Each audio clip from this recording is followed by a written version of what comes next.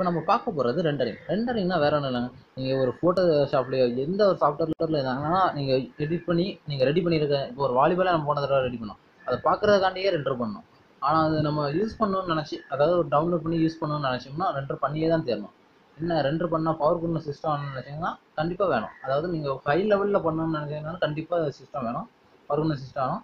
நம்ம இப்போ சிம்பிள் லெவலில் தான் பண்ண போகிறோங்கிறனால அந்த லெவல் சிஸ்டம் வேணும்.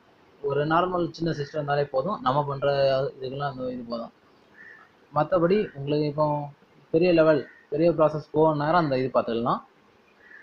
இந்த இதுக்கெல்லாம் இப்போ யூஸ் பண்ணுறது சின்ன இது. நீங்கள் உங்கள் சேவ் லிஸ்ட்டில் பார்த்தீங்கன்னா தெரியும். கொஞ்சம் இது இருக்கும்.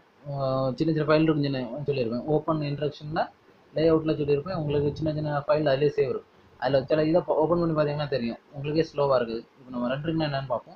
எஃப் நைன் கொடுத்து உங்களுக்கு இந்த மாதிரி ஓப்பன் பண்ணுறது போன தடவை உங்களுக்கு அந்த ஃபுட்பால்லே சொல்லியிருப்பேன் இது எங்கே இருக்குன்னு நாய்க்கான் நான் இருக்கு பார்த்தீங்களா? இதுதான் இது. ஆனால் இந்த ஃப்ரேம் நம்மளுக்கு சேவ் ஆகாது. பார்க்க மட்டும் தான் முடியுமே தவிர சேவ் ஆகாது. ஒரு இடமும் சேவ் ஆகாது. அதுக்கு கீழே ரெண்டு செட்டப்னு ஒன்று இருக்கு பார்த்தீங்களா? அதை கொடுத்துக்கோங்க. கொடுத்தீங்கன்னா சிங்கிள் ஃபர்ஸ்ட் இருக்க பார்த்தீங்கன்னா சிங்கிள்னு ஒன்று இருக்கும். சிங்கிள் வந்து நம்ம இந்த ஒரு சிங்கிள் ஒன்று ஒன்றை மட்டும் கிரியேட் பண்ணால் போதுமான்னு கேட்குது நம்ம சிங்கிளாக ஒன்று போதும்னு நினச்சிங்கன்னா ரெண்டு கொடுத்துக்கலாம். அந்த ஒரு இதுவுமே இதாகும் அதுக்கப்புறம் வந்து active time segment active time செக்மெண்ட்னா zero to hundred zero to ஹண்ட்ரடில் எனக்கு இப்போ பத்து பத்து இருபது முப்பது நாற்பது ஐம்பதுன்னு போகணும்னு நினச்சிங்கன்னா பத்து ஃப்ரேம் பத்து பத்து ஃப்ரேமாக செலக்ட் ஆகும் நம்ம மேலே பார்த்தீங்கன்னா தெரியும். பவுஸ் பண்ணி வச்சுருக்கேன். ஐம்பதாவது ஃப்ரேம் பார்த்தீங்களா இப்போ ஐம்பது அறுபது எழுபது எழுபதாவது ஃப்ரேமில் இருபது அப்படியே பத்து பத்து ஃப்ரேமா அதாவது மொத்தம் பத்து ஃபோட்டோ எத்தனை ஃப்ரேம் நூறுரூவா ஃபோட்டோ பதினோரு ஃப்ரேம் அப்படி எத்தனை பத்து பத்து பத்தாவது போய் போய் லாஸ்ட் எத்தனை இதில் இருக்கோ அதில் வந்து நிற்கும் அதுக்கப்புறம் இருக்கிறது பார்த்தீங்கன்னா இப்போ நான் ஹண்ட்ரட் இது ஒன்றுமே இல்லாமல் கொடுத்தேன் ஒன்று ஒன்றா கொடுத்தேன் ஒன்று கொடுத்தீங்கன்னா ஜீரோ டு ஹண்ட்ரட் வர அதில் ரெண்டு ரூபா அடுத்து பார்த்தீங்கன்னா ஃப்ரேம்ஸ் ஃப்ரேம்ஸில் ஒன்று மூணு அஞ்சுலேருந்து பன்னெண்டு வரை அப்படி கொடுத்துருக்கேன். அதாவது அந்த அண்டர்ஸ்கோப் வந்து அஞ்சு டு பன்னெண்டு வரை கம்மா போட்டோம்னா ஒன்று மூணு. ஒன்று மூணு அடிச்சுட்டு அடுத்து அஞ்சு டு பன்னெண்டு வரைக்கும் அதில் என்னெல்லாம் இருக்கோ அந்த ஃப்ரேமெல்லாம் அதில் டவுன்லோட் பண்ணும். ஃப்ரேம் ரெண்டர் பண்ணும். அது அந்த இதுக்கான இது. அதுக்கப்புறம் நம்ம பார்க்க போகிறது வந்து இதெல்லாம் ஃப்ரேம் எப்படி நம்ம எடிட் பண்ணுறதுக்கு அதாவது நம்மளுக்கு இந்த இந்த ஃப்ரேம் வேணுங்கிறது தான் ஆனால் இந்த இதில் நம்ம என்னென்ன செலெக்ஷன் பண்ணணுங்கிறதுக்காண்டி இதாகிறது தான் இது கீழே இருக்கு. இப்போ வியூ எடுத்துடுவோமே வியூவில் செலக்ட்னு ஒன்று இருக்கு பாருங்க. இப்போ நான் இந்த இந்த க்ரீன் கலரில் இருக்க மட்டும் செலக்ட் பண்ணிக்கிறேன். இது இந்த ப்ளூ கலரில் இருக்க செலக்ட் பண்ணிக்கிறேன் வச்சுட்டு இப்போ நான் ரெண்டர் கொடுக்குறேன். கொடுத்தேன்னா அந்த ப்ளூ கலரில் இருக்கிறது மட்டும் இதில் இதாகும் பாருங்க. ஒன்று மாற்றிடுவோம் நான் அப்போ தான் ஒரு ஃப்ரேம் மட்டும் இல்லை. எல்லாம் மீதி இருக்க அவ்வளோ செலக்ட் ஆகும் ஏன்னா சிங்கிள் கொடுத்தாலும் போதும் சரிங்களா மீதி இருக்க அவ்வளோத்தையும் கழிச்சிட்டு அது மட்டும் ரெண்டாயிருக்கு இப்போ அந்த பச்சை கொடுத்துருங்க. பச்சை மட்டும் செலக்ட் ஆகும். சரிங்களா நீங்கள் எந்த ஆப்ஜெக்டில் எதை செலக்ட் பண்ணுறீங்களோ அது மட்டும் தான் செலக்ட் ஆகும். அதான் செலக்ட் அடுத்து ரிஜியன் ரிஜியன்னா வேறு ஒன்றும் இல்லைங்க. இந்த ஒரு கட்டம் மாதிரி வரும். ஒரு ஃபோட்டோஷாப்லாம் பார்த்தோம்னா ட்ரான்ஸ்ஃபார்ம் கட்ட மாதிரி இருக்கும். அந்த கட்டம் மாதிரி இருக்கும். அது நம்ம கரெக்டாக அந்த பர்டிகுலர் அதாவது எனக்கு இது வர போதும். நான் இப்போ இந்த இவ்வளோ தான் கூட இது பண்ணியிருக்கேன் இந்த இவ்வளோ மீதி செலக்ட் பண்ணேன்னு வைங்களேன்.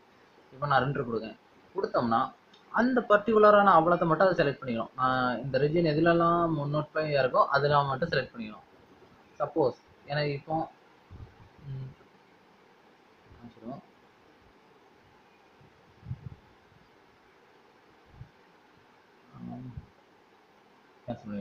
சொல்லுவோம் பண்ணிட்டு இதில் பார்த்து பார்த்தோம்னா அவுட்புட் சைஸ் அவுட்புட் சைஸில் பார்த்தீங்கன்னா சினிமாவுக்கு யூஸ் பண்ணுற அவுட் இது ஏகப்பட்ட ஃபாண்டில் ஏகப்பட்ட குவாலிட்டியில் இருக்கும். இதில் நான் கொடுக்குறது வந்து பால் வீடியோ கொடுப்பேன். நம்மளுக்கு பெஸ்ட்டமாக இருக்கணும். பால் வீடியோ கொடுப்பேன். இப்போதைக்கு கஷ்டத்தில் இருக்கட்டும். கஷ்டமில்